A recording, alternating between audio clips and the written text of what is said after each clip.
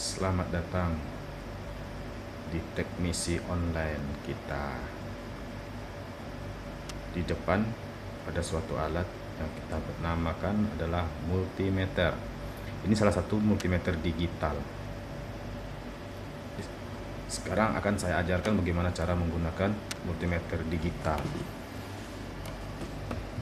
Baiklah. Untuk mengukur tegangan listrik kita akan menggunakan multimeter digital berikut ini. Kita putar saklar ke posisi simbol tegangan.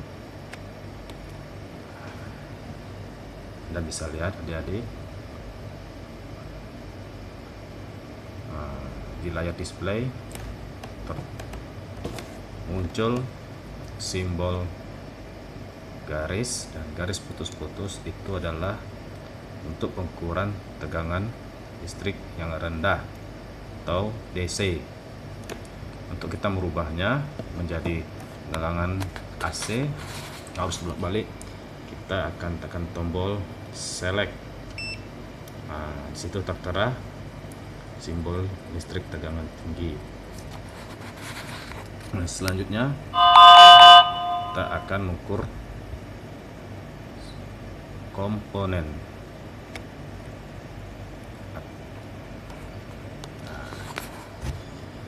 di sini kalau adik-adik ingin mengukur sebuah tahanan nah, adik-adik bisa lihat di simbol display ada tertulis mega ohm m ohm. Nah, mega ohm artinya.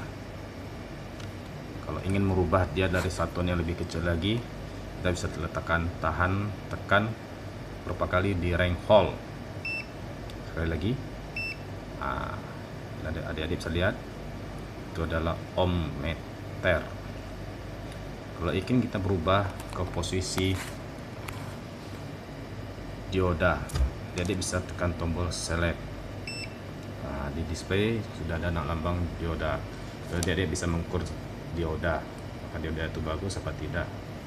Selanjutnya kalau adik-adik ingin menggunakan buzzer tekan select sekali lagi.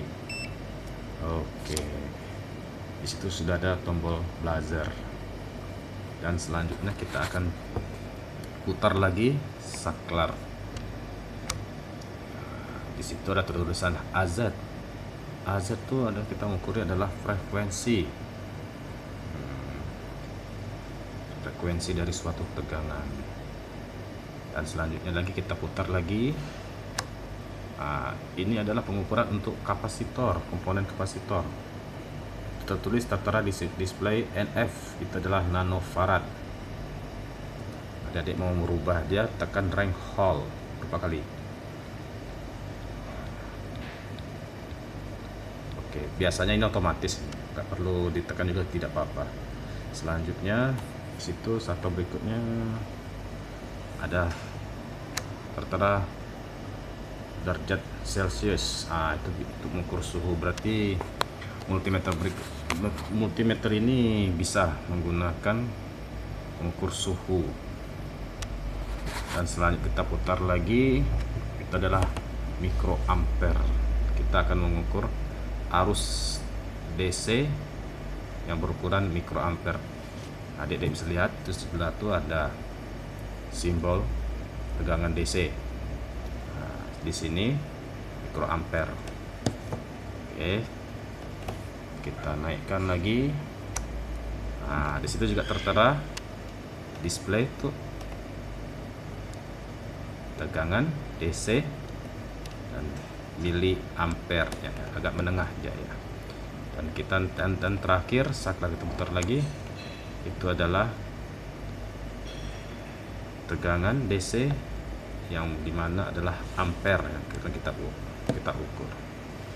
Baiklah sekian dari saya.